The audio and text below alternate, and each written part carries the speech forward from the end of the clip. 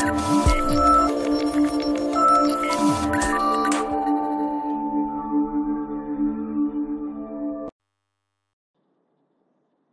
friends, welcome back to our channel. So in today's session, we'll see how to draw the pie chart in Excel. So in the previous session, we have seen the column chart. So we'll take the same example. So that means the percentage range and the number of students who secured in that particular range.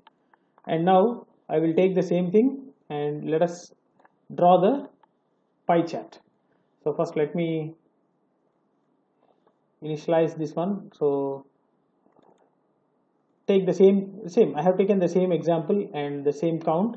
So uh, now we need to insert the pie chart. So select the table and go to the insert and go to the pie chart. So here you can observe the pie chart okay? So pie chart is nothing but a chart type to show the proportions of a whole and use it when the total of your number is 100 percent if you want to divide uh, the percentage in terms of percentage if you want to represent the analysis in terms of percentage then you can go with this pie chart so select this pie chart so that you will get uh, three options. One is a 2D pie, 3D pie and donut and go with the 2D pie first.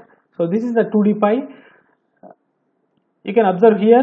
So this is a circular representation. The pie chart is nothing but a circular representation. So uh, categorized in divisions. There will be a division for each and every category. There will be a division in each and every category. So for better understanding, I will just change this uh, 0 with a 5 and also this one with uh, some 4 okay so the representation will be like this right so you can observe here the colors each category will be having a different color and the category color is represented here. So which color is with, with which percentage. And if you select this one similar to our column chart you can also have this plus. So you can add the data labels. So you can observe here. So data labels you can uh, get the data the, the data is visible here and you can also select the data labels where to display. So there is a small arrow mark. You just go to the click on that arrow mark. You will get a center so that all the data labels will be in a centered and inside end outside end best fit. So this is a best fit and a data callout you can observe if you go with the data callout you can observe the range is also displayed here. So the range and the percentage in terms of percentage. So if you go with the remaining things only the count was displayed. You can observe. So the green color the green color uh, is a less than 50 so here you can observe. So just i will select this so less than 50 less than 50 is only two students. Only the count of a students was displayed. Right? And if you just go through this uh, mouse pointer to there you will get the percentage as a, in a tooltip. You can observe here. See 7 percent. If you go here it will be 17 percent so if you go with the call out, data call out, there you can observe the count is not available, but in terms of percentage it was displaying. Okay, the range of students, the range of percentage and the uh, uh, percentage of students who secured in between 50 and 60, who secured less than 50, who secured greater than 90. So this is one way to represent the data labels and also you can uh, go with the more options. So to give the data labels. Here you can see series name. Series name you can observe it was changing. A slight change is there right? A slight change is there. Count. So the count is uh, less than uh, i mean count is who got less than 7 50 is a 7 percent. And the category name it was there. So you can observe here.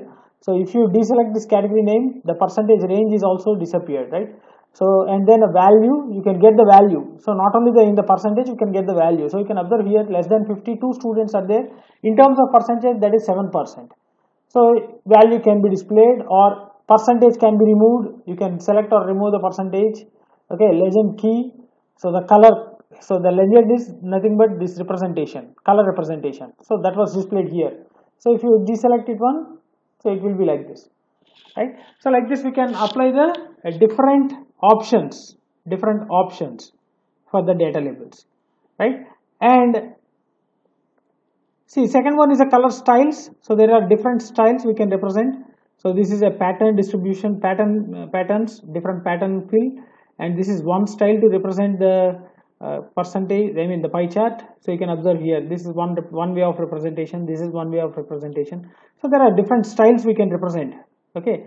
So you can select any one among these things and the colors you can also select the colors the colorful different colors giving uh, uh, different colors for each and every category. So if you go with the monochromatic so same color will be given for all the categories but slight brightness uh, difference based upon the percentage. You can observe here 17 percent is having one brightness and 24 percent is having one brightness and 24 percent is having one brightness and 14 percent is having somewhat light brightness.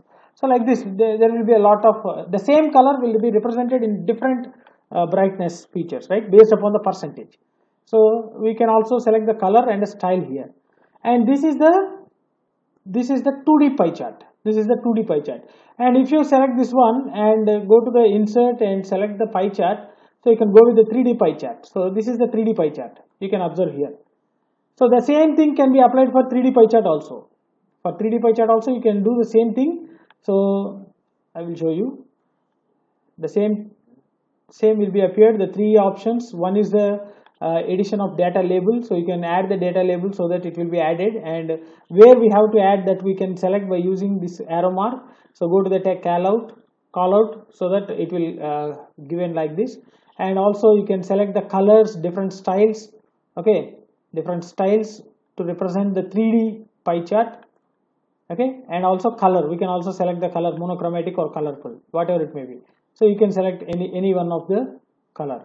Right so this is about the 3d pie chart. And there is a one more uh, pie chart is there that is a donut donut representation. So select this one go to the insert select the pie chart and go to the donut. So you can observe here it is donut representation. So here there is a categories each category is represented in each color and similar to our previous pie charts that means 2d and 3d here also we can uh, select the data label so that they will be displayed here and we can select the uh, where we have to display. So we can select the thing. So data callout means like this it will it will appear like this. And also colors different colors different styles can be appeared in this donut representation also. Right? So this is how we can imp implement the pie chart. So as a whole that means as a whole if we if it, if we want to uh, analyze the data in terms of percentage then we can go with this pie chart. So it's a circular representation and each and every category will be divided and it will be represented in different colors. Okay? So we can represent the data in terms of values or in terms of percentages. Right? So hope you understood this pie chart. So if you are having any doubts in this pie chart so feel free to post your doubts in the comment section. Uh, definitely i will try to clarify all your doubts. And if you really understood my session like my session share my session with your friends and don't forget to subscribe to our channel. So thanks for watching. Thank you very much